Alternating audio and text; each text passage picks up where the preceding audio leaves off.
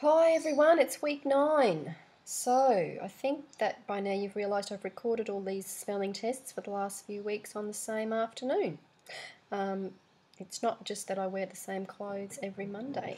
So, for week nine, we've got 10 words. The first word is issues. Issues. The second word for week nine is connection. Connection.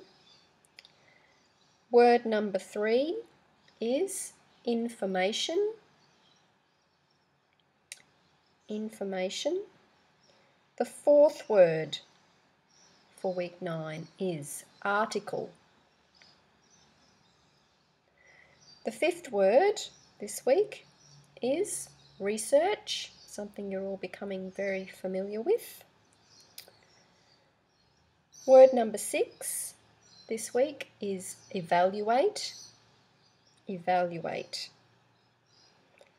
Word number seven currency. Currency.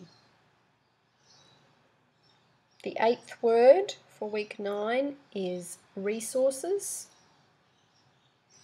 Resources. Word number nine is concepts. Concepts.